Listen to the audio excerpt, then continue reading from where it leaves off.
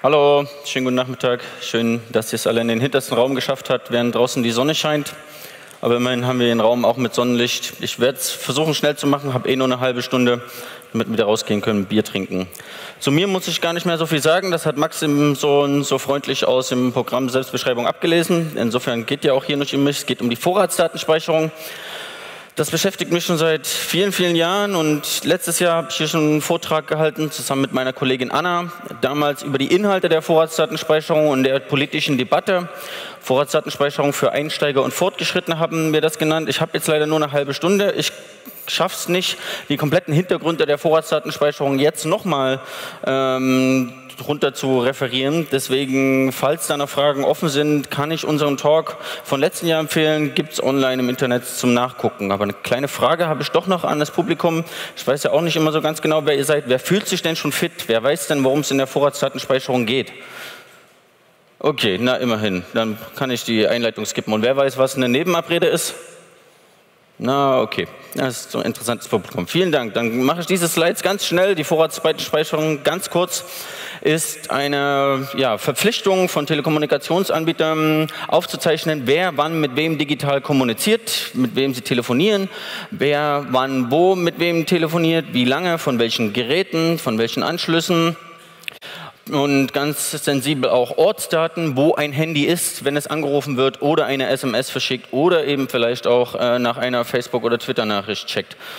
Ähm, die Vorratsdatenspeicherung ist ein Problem. Wie gesagt, ich habe letztes Jahr schon eine Stunde ausführlich mit Anna dargelegt, warum das ein Problem ist. Ähm, dieses Mal lasse ich bei einem kurzen Satz von diesem werten Herrn Michael Hayden, we kill people based on metadata. Weitere Argumente gibt es dann zum Schluss mal eine ähm, Übersichtsseite, die ich gemacht habe mir wurde aufgetragen, Lügen für die Vorratsdatenspeicherung auseinanderzunehmen. Deswegen vergebe ich mich, orientiere mich an Frank und Fefe, die jährlich in der Nord News Show auf dem Chaos Kongress Awards vergeben und vergebe mehrere Pinocchio, Pinocchio Awards in meinem Talk. Also auf. Das ist die SPD. Bei ihrem Bundesparteitag 2011 und da haben sie abgestimmt über eine Vorratsdatenspeicherung, ob sie die haben wollen oder nicht. Ganz knapp haben sie einen Antrag, an, äh, Antrag angenommen. Die SPD hat sich entschlossen, man will eine Vorratsdatenspeicherung mit der Begründung im allerersten Satz. Es gibt eine EU-Richtlinie, die vorschreibt, die Deutschland verpflichtet, ein Gesetz zu erlassen. Ich habe manche Folien mit viel Text. Ich weiß, viel Text wollen wir alle nicht lesen. Ihr müsst nur die fetten Teile lesen. Aber es sind Originalzitate. Also die SPD und äh, jetzt auch unsere Justiz- und Innenminister sagen, ja, die SPD hat das schon beschlossen in ihrem Parteitagsbeschluss und deswegen muss man das machen. Nur da steht drin, man muss eine EU-Richtlinie umsetzen, die gibt es jetzt nicht mehr. Deswegen gibt es den ersten Pinocchio für die SPD mit roten Hüten und in der Masse. Das ist der Koalitionsvertrag zwischen unseren Parteien CDU, CSU und SPD. Und auch da steht ein Abschnitt zur Vorratsdatenspeicherung drin. Der geht so los. Wir werden die EU-Richtlinie umsetzen. Dadurch vermeiden wir Zwangsgelder und im Übrigen, wenn wir das schon machen müssen, dann und ein paar Details. Tja, EU-Richtlinie gibt es nicht mehr, ist gekillt worden vom EuGH. Deswegen gibt es dafür den ganz großen schwarz-roten Pinocchio.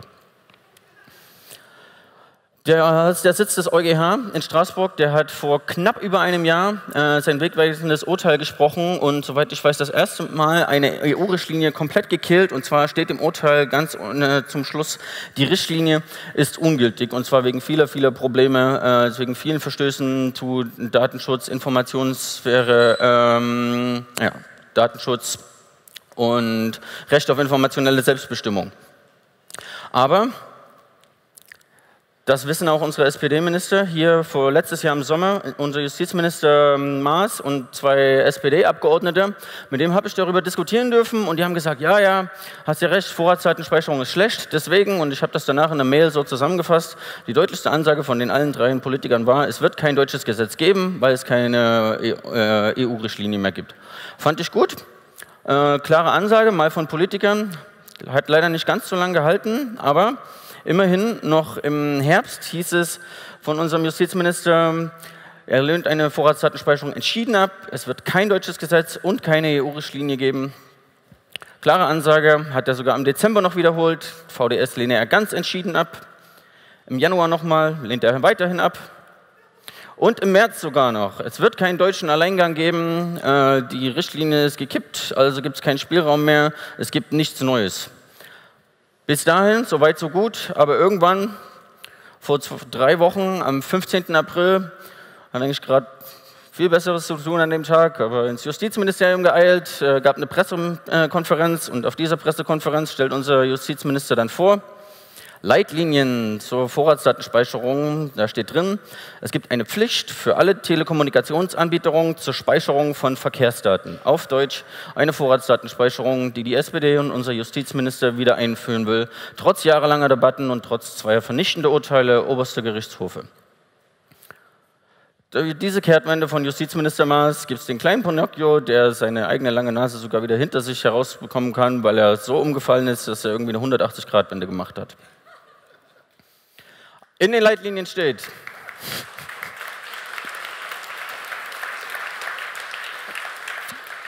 Das waren ja noch für die Formalien, jetzt kommen wir die inhaltlichen Punkte. In den Leitlinien haben sie ganz viele äh, Fall, also nee, ganz viele Safety Guards eingebaut, da das ja alles nicht so schlimm ist. Und zwar ganz am Anfang hieß es natürlich, muss immer wieder betont werden, ja, Vorratsdatenspeicherung wurde ja schon zweimal von Gerichtshofen gekippt, also halten wir die, Vor äh, die Vorgaben beider Gerichte ein. Steht so drin.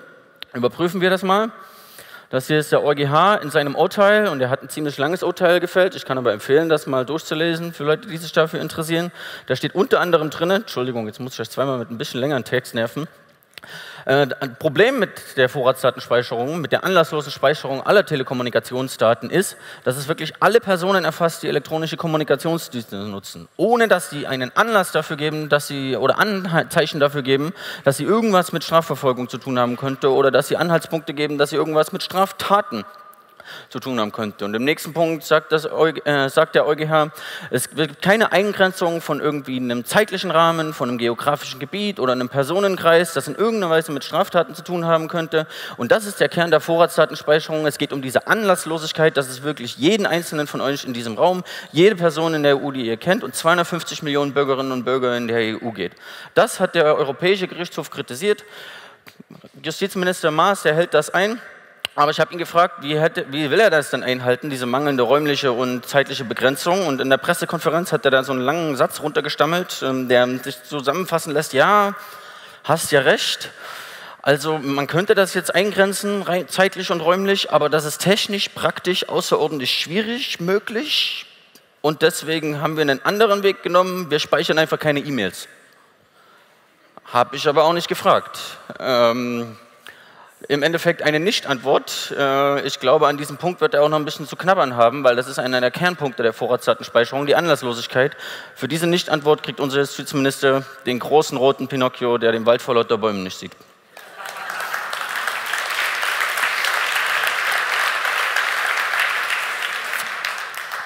Aber man erhält ja auch die Vorgaben des Bundesverfassungsgerichts ein. Hier, das Bundesverfassungsgericht, der erste Senat, kurz vor seinem Urteil. Die haben in dem Urteil geschrieben, das Problem der Vorratsdatenspeicherung ist unter anderem, also eins der vielen Probleme ist, dass es eine flächendeckende, vorsorgliche Speicherung aller möglichen Daten abzielt, eine solche Gesetzgebung ist aber mit der Verfassung unvereinbar. Also ist wieder das Problem der Anlasslosigkeit, dass es eben nicht um Leute gibt, die einen Anlass äh, dazu geben, dass sie verdächtigt werden, Straftaten zu begehen oder auch nur im entferntesten damit zu tun haben, sondern dass es eben um die Komplettüberwachung der digitalen Welt geht. Und Herr Professor Alexander Rossnagel hat das zusammengefasst zur sogenannten Überwachungsgesamtrechnung. Ähm, in einem Aufsatz in der Neuen Juristischen Wochenzeitung führt er aus, sorry nochmal zweimal Textblob, ähm, die moderne IT-Welt gibt es her, es macht es möglich, alle Menschen, alle Aktivitäten aller Bürger umfassend und vollständig zu überwachen. Aber die zivilisatorische Leistung ist es, im Interesse der Freiheit darauf zu verzichten. Das schreibt er in einer Erläuterung des äh, Urteils vom Bundesverfassungsgericht.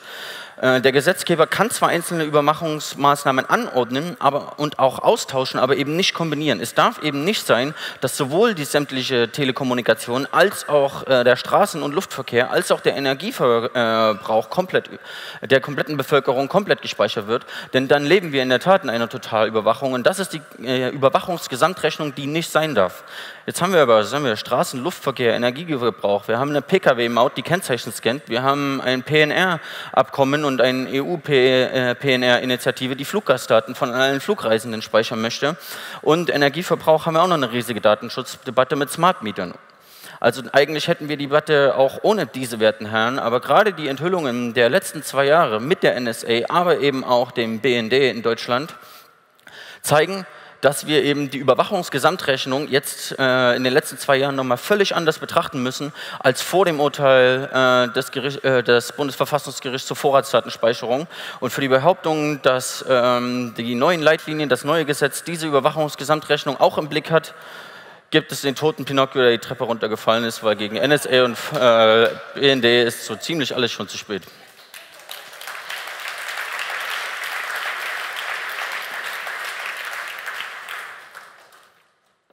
Eine weitere Behauptung von unserem Justizminister bei der Vorstellung, Entschuldigung, dass ich mich so auf den Justizminister stütze, aber der ist zuständig und er ist umgefallen. Ähm, von der Union hätte ich auch nichts Besseres erwartet. Er hat wenigstens schon mal das Gegenteil gesagt gehabt.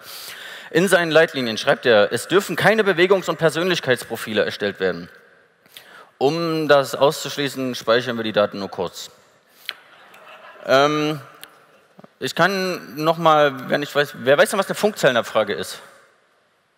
Okay, knapp ein Drittel, gutes Drittel. Ähm, damit euer Mobiltelefongerät funktionieren kann, äh, kommuniziert es die ganze Zeit mit diesen Sendemasten, sogenannten Funkzellen. Diese Funktionen haben aber Orte. Das Mobilfunknetz muss ja wissen, in welchem geografischen Gebiet ihr seid, um oder euer Handy ist, um euch eine SMS oder einen Anruf auch dorthin durchstellen zu können. Deswegen weiß das Mobilfunknetz immer, wo euer Mobilfunkgerät gerade ist. Und genau diese Daten, wo euer Handy sich die ganze Zeit aufhält, wird auch mit der Vorratsdatenspeicherung gespeichert, permanent. Malte Spitz, ein guter Kumpel, der bestimmt hier auch irgendwo rumrennt, hat vor hm, vielen Jahren, wann war das? Vor 2009, glaube ich, seine alten Vorratsdaten von der Telekom herausgeklagt ähm, hat eine Weile gedauert und dann den Datenvisualisierungsspezialexperten um Michael Kreil gegeben, äh, die daraus diese geniale Visualisierung gemacht haben, dass es eben nicht um harmlose Metadaten geht, sondern dass man daran eben ganz konkret ablesen kann, wann wer wo war, wo Malte geschlafen hat, wo er arbeitet, wann er einen anderen Weg zur Arbeit nimmt äh, und quasi ein komplettes lückenloses Bewegungsprofil erstellen kann, weil sein Handy alle zwei Minuten mit Facebook kommuniziert hat oder Twitter oder mit seinem E-Mail-Provider oder der Cloud oder was auch immer alles. Äh, diese Geräte sind nun mal ständig online, deswegen heißen sie Smartphones und deswegen wird alle zwei Minuten oder alle paar Minuten gelockt, wo man sich aufhält. Wer diese interaktive Visualisierung noch nicht kennt, einmal Zeit.de, verräterisches Handy, hat auch einen Grimme Online Award gewonnen, zu Recht äh, das visualisiert, worum, ähm, warum Vorratsdaten so gefährlich und so brisant sind. Seitdem haben wir das noch zweimal wiederholt. Einmal mit Balthasar Glättli, einem grünen Politiker in der Schweiz, wo genau dasselbe Ergebnis rauskam. Auch da konnte man wieder sehen, lückenlos nachvollziehen, wo er sich aufgehalten hat, wo er geschlafen hat. Und erst letztes Jahr mit unserem Freund Ton Sietsma aus den Niederlanden, der eigentlich auch irgendwann mal rumrennen sollte auf der Republika. Das ist ein Bewegungsprofil von nur einem einzigen Tag von Tom. Man kann sehen, wo er wohnt, man kann sehen, wo er arbeitet, man kann sehen, dass er einen anderen Weg von der Arbeit zurück nach Hause genommen hat als sonst. Und es ist quasi ein Lücken und man kann sehen, wo er geschlafen hat, wo er seine Mittagspause verbracht hat und wo er wirklich Freitagabend war. Das ist ein äh, lückenloses Bewegungsprofil von nur einem einzigen Tag, von nur einer einzigen Person. Und jetzt sollen von 250 Millionen ähm, Leuten in der EU oder 80 Millionen Leuten in Deutschland permanent äh, von jedem Mobilgerät gespeichert werden, wo sie sich aufhalten. Das ist äh, ein Bewegungsprofil, ganz klassisch. Und so sieht es dann bei Polizeibehörden aus. Das ist eine Software, die nennt sich Analyst, IBM Analysts Notebook. Und da äh, werfen Polizeibeamte, nachdem äh, sie die Daten bekommen haben, vom Mobilfunkanbieter die Daten rein und bekommen genau diese Graphen, nicht ganz so hübsch wie von Michael Kreil, aber äh, im Endeffekt genau diese Bewegungsprofile auch angezeigt. Ein Journalistenkollege von uns hat, nachdem wir darüber geblockt haben, dass es höchstwahrscheinlich doch Bewegungsprofile gibt, ähm, mal nachgefragt beim Justizministerium und hat gemeint, ja, ja, ähm, es geht nicht nur darum, dass der Standort gespeichert wird bei einem Anruf oder einer SMS, was, ja, so, ruft, so oft telefoniere ich nicht und so oft schreibe ich keine SMS, sondern eben auch, wenn ein Mobilfunkgerät äh, eine Datenverbindung mit dem Internet aufbaut. Und das ist eben ähm, alle paar Minuten, das ist wirklich lückenlos die ganze Zeit Diese eine Antwort vom Justizministerium, nachdem wir die zurückgerudert haben, äh, nachdem wir die verblockt haben, sind sie zurückgerudert und haben gemeint, nee, das ist noch gar nicht fest, das sind ja nur Leitlinien, wir sollen auf das Gesetz warten. Ähm, Glaube ich trotzdem noch nicht so ganz. Ich bin ziemlich der Überzeugung, dass das auch so drin sein wird, aber wir werden uns vom Gesetz überraschen lassen. Aber am selben Tag, wie, wir die, äh, wie der Justizminister seine Leitlinie zur Vorratsdatenspeicherung vorgestellt haben, haben wir eine neue Einheit vom Bundesamt für Verfassungsschutz äh, vorgestellt, ein internes Strategiepapier gelegt mit der offiziellen Aufgabenbeschreibung, wo drin steht, Zwei neue äh, Referate an den Standorten Köln und Berlin sollen zentrale Analysestelle komplexer Datenmengen machen und zwar Bewegungsprofile erstellen. Also für diese Lüge gibt es den langen äh, Pinocchio auf der Reise wegen den Bewegungsprofilen.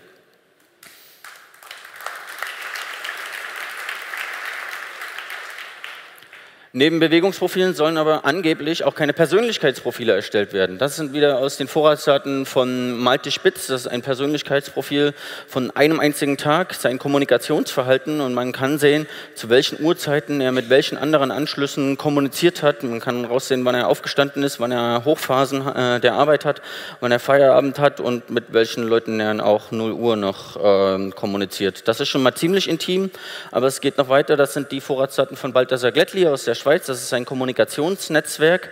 Ist, ähm, das sind alle Leute, jeder Punkt ist eine Person, mit denen äh, er elektronisch kommuniziert hat.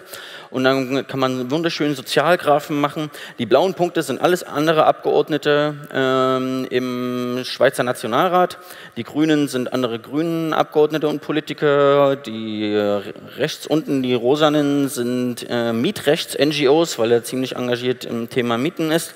Links oben sind Anwälte, die roten. Und die gelben Punkte sind seine Frau und die große gelbe, ähm, weil er damit am meisten kommuniziert hat. Äh, also das, die gelben sind seine Familie und der gelbe Punkt ist seine Frau.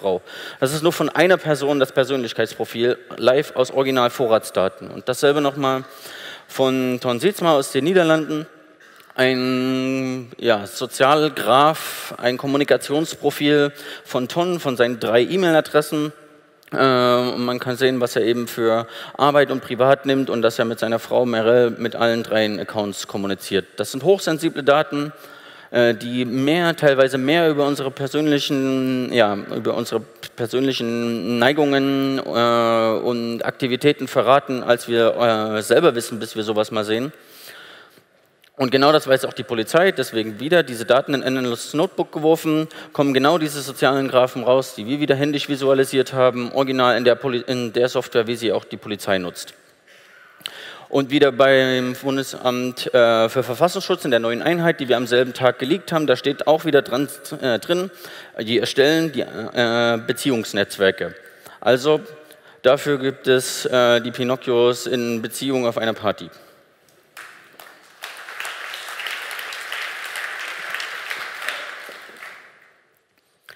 Verfassungsschutz, habe ich jetzt ein paar Mal gesagt. Ähm, habe ich auch auf der äh, Pressekonferenz unter den Justizminister gefragt, ja, also ich glaube das ja nicht ganz mit den Bewegungs- und Persönlichkeitsprofilen. Ähm, Gerade heute haben wir Berichte, wie der Verfassungsschutz mehrere Einheiten hat, die nur das machen. Äh, wie passt denn das zusammen? Und seine Antwort war, ja, ähm, also der Verfassungsschutzamt ist nicht vorgesehen für einen Zugriff nach den Regeln, die wir in diesem Gesetz vorschlagen. Wer glaubt dran? Oh, so wenig. Also tatsächlich steht das in den Leitlinien noch nicht drin, aber ich befürchte, dass allerspätestens, wenn das äh, Gesetz ist und durch den Bundestag ist, auch drin steht. Deswegen gibt es dafür erstmal nur einen kleinen niedlichen Pinocchio aus der Originalverfilmung, noch ohne lange Nase, denn das wird sich noch herausstellen müssen. Der Richtervorbehalt. Also es werden nicht nur die Urteile eingehalten und keine Profile erstellt, sondern es gibt auch noch einen umfassenden Richtervorbehalt für den Abruf der Daten. Quasi immer wurde gesagt, wurde nicht müde zu betonen. Nur strengster und strenger Richtervorbehalt wurde da um sich geworfen. Tja, wir haben dann die Leitlinie noch in einer anderen Version erhalten, die eine sogenannte Nebenabrede auf der letzten Seite haben und da steht drin, eine Auskunft über die Bestandsdaten geht auch anhand der Daten, die wir hier vorschreiben zur Vorratsdatenspeicherung. So, wer weiß denn, was eine Bestandsdatenauskunft ist? Okay, dann erkläre ich das nochmal. Eine Bestandsdatenauskunft äh, beschreibt die Bundesnetzagentur selbst teilweise als das sogenannte Behördentelefonbuch. Ähm, das ist eine Datenbank bei Providern, die die Bundesnetzagentur Zugriff hat und einen zentralisierten Zugriff für sogenannte Bedarfsträger, nicht nur Polizei, sondern bis hin zu Finanzbeamten, Zollbeamten und so. Äh, also da geht es bei weitem nicht nur um schwere und schwerste Straftaten. Zugriff geben, um eben herauszufinden, welche Personen haben welche Telefonnummer, aber auch andersrum, welche Telefonnummern und Handynummern sind welchen Personen zugeordnet, welche sogenannten Bestandsdaten, also Name, Anschrift, Adresse, Rechnungs, äh, Rechnungsadresse, Kontonummer und so sind dann jeweils beim Mobilfunkanbieter oder Internetanbieter hinterlegt. Das gibt es für Telefon, Mobilfunk, E-Mail und seit neuestem auch für IP-Adressen und zwar seit 2013, seit knapp zwei Jahren. Hier ist der Bundestag, wie er die sogenannte Bestandsdatenauskunft vor zwei Jahren neu regelt, voll besetzt fast. Äh, man beachte, dass nicht nur die damalige Koalition von Schwarz-Gelb zustimmt, sondern auch die äh, Sozialdemokraten, weiß nicht, was schlimmer ist, die Sozen oder die äh, ja, Freiheitspartei, die das mit ermöglicht haben, denn schon vor der Neuregelung sind die Zahlen rasant gestiegen. Das sind die offiziellen Zahlen der Bundesnetzagentur, das sind jetzt irgendwie keine von uns oder so. Ähm, in Millionen steht dort, sieben Millionen Bestandsdatenabfragen. Letztes Jahr die ähm, Bundesnetzagentur schreibt selber, 7 Millionen Abfragen jährlich, bis zu 70.000 äh, pro Tag. Ich glaube, das sind irgendwie 5 pro Sekunde oder so.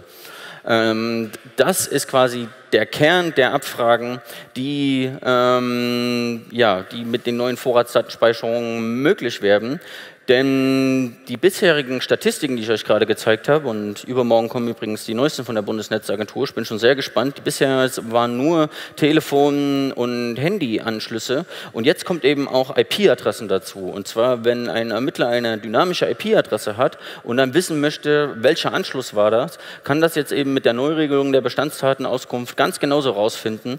Aber diese Daten, die mussten bisher gar nicht gespeichert werden, vor allem gar nicht für Flatrates. Mit der Neuregelung des Gesetzes ähm, von ja, Justizminister Maas sollen jetzt eben auch IP-Adressen gespeichert werden für zehn Wochen ähm, und dann eben auch zugeordnet werden können einzelnen Personen. Und das ist der Großteil der Abfragen, die sogenannte Bedarfsträger Sicherheitsbehörden mit diesen Vorratsdaten äh, anstellen werden haben wir gefragt nach der Nebenabkunft, die wir veröffentlicht haben, dass die Frau Zimmerin, eine Sprecherin vom Justizministerium, nachdem wir das veröffentlicht haben. Äh, und sie hat gemeint, ja, ähm, nee, also es gibt keine so eine Nebenabsprache und die Bestandsdaten, die sind von unseren Leitlinien noch nicht erfasst. Haben wir nicht ganz geglaubt, deswegen haben wir die Leitlinien, wie wir sie haben, selber veröffentlicht. Mit auf der letzten Seite eben genau diese Nebenabrede, ähm, wo genau das drinsteht, dass der Großteil der Vorratsdaten auch ohne Richterbeschluss eben abfragbar sein wird. Und in den Metadaten dieses PDFs fand sich dann eine Zimmermann als Erstellerin.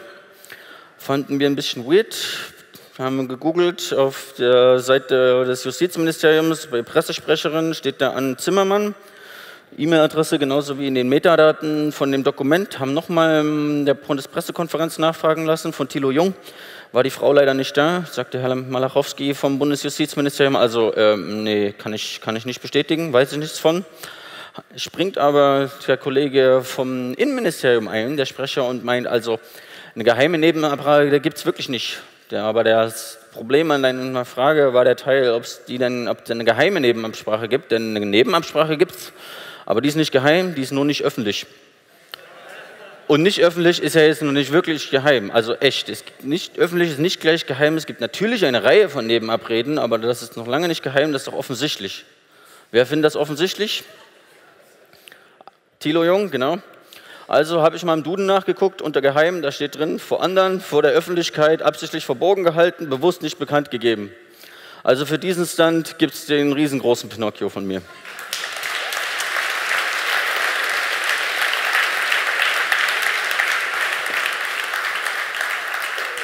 Ich bin fast durch. Einen letzten habe ich noch. Die werten Herren sind Spezialfreunde vom Bund Deutscher Kriminalbeamte mit ja, Ex-BKA-Präsident Zierke. Das sind die Herren, die nicht müde werden zu betonen, wie wichtig denn die Vorratsdatenspeicherung ist und dass es eine sogenannte Schutzlücke gäbe, wenn wir nicht endlich diese Vorratsdatenspeicherung bekommen, wenn wir nicht endlich sämtliche Telekommunikationen, sämtliche Bürger anlasslos speichern, dann ja, geht das Abendland unter. Wir haben keinen Schutz mehr, wir haben eine, eine Lücke in unserem Schutz. Kann den Blogbeitrag von Kai Biermann, Martin Hase, Neusprechblog äh, empfehlen zum Thema. Aber da will ich jetzt gar nicht mal irgendwelche Stunts von uns oder von Netzpolitik heranziehen dagegen, sondern seriöse Wissenschaftler im Gegensatz zu uns vom Max-Planck-Institut für ausländisches und internationales Strafrecht. Die haben sich 2011 mal die Arbeit gemacht. Wir gab ja in Deutschland die längste Zeit keine Vorratsdatenspeicherung. Dann hatten wir ja mal eine, dann hatten wir wieder keine. Also haben die sich die Arbeit gemacht und Statistiken angeguckt. Wie ist denn da die Aufklärungsrate gewesen äh, zu Zeiten vor, während und nach der Vorratsdatenspeicherung? Stellt sich raus, also für den Zeitraum von 87 bis 2010, die eine Änderung der Aufklärungsquoten lässt sich durch den Wegfall der Vorratsdatenspeicherung nicht sehen.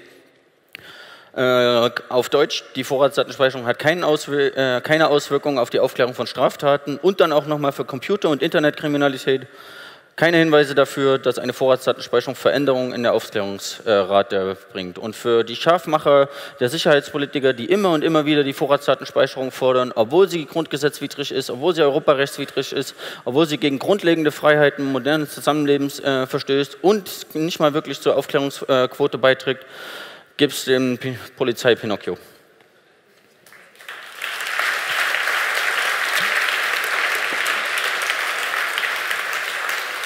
Abschließend, das waren noch lange nicht alle Argumente. Ähm, ich könnte, wie gesagt, stundenlang über die Vorratsdatenspeicherung diskutieren, tue das gerne auch, findet mich im Hof.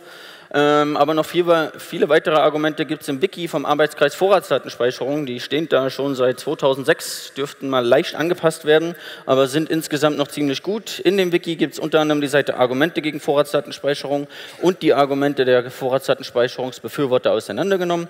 Kann ich jedem empfehlen. Und dann helft mit, die Vorratsdatenspeicherung wieder zu verhindern oder zu Fall zu bringen, wie wir es schon einmal geschafft haben. Vielen Dank.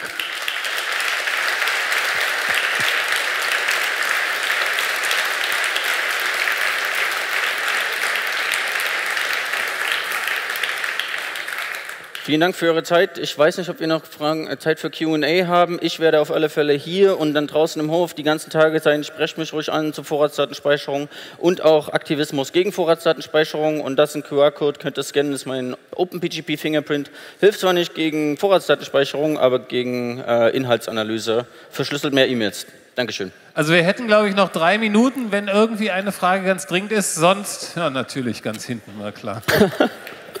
das ist immer so. Aber der Mensch kommt mir entgegen, das ist nett. Ja, ich bin der Bernd. Ähm, Vorratsdaten ist natürlich, ein, ist natürlich ein schlimmes Thema, ganz klar. Bloß ich sehe die Gefahr, dass dadurch abgelenkt wird von der eigentlich schon laufenden inhaltlichen Datenfluss äh, äh, über E-Mail-Verkehr, über NSA und BND ich glaube, diese Sache mit der Vorratsdatenspeicherung war ein Ablenkungsmanöver, um von der viel größeren inhaltlichen Überwachung, die ja vor allen Dingen auch Parlamente, Ministerien, die Parlamentarier selber sind ja schon überwacht.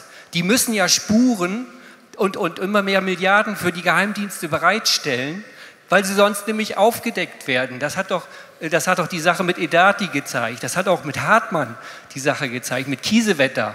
Das sind ja Abgeordnete, die sind ja vorgeführt worden und damit wurde den anderen Abgeordneten klargemacht, wenn ihr nicht spurt, machen wir euch fertig. Also in der Tat, die äh, Komplettüberwachung der digitalen Welt, von der wir seit zwei Jahren wissen, ist natürlich noch viel schlimmer als die Vorratsdatenspeicherung. Aber das heißt jetzt nicht, dass das eine irgendwie, äh, ja, äh, tja, das eine irgendwie besser macht oder so. Ähm, wir fanden es ein bisschen schade, dass wir am selben Tag, in der die Vorratsdatenspeicherung wieder aufkam, ähm, enthüllt haben, wie das Bundesamt für Verfassungsschutz eine neue Einheit, also eine ganze Referatsgruppe mit 75 Mitarbeitern zur Internetüberwachung neu hat. Ist total untergegangen wegen der Vorratsdatenspeicherung. Ich glaube nicht ganz daran, dass es Absicht war, aber das war sehr ungelegen für uns. Aber lasst uns doch da zusammenarbeiten, sowohl die Vorratsdatenspeicherung als auch die komplette anlasslose Massenüberwachung der Inhaltsdaten zu beenden. André, vielen, vielen Dank. Danke euch. Applaus. Dankeschön.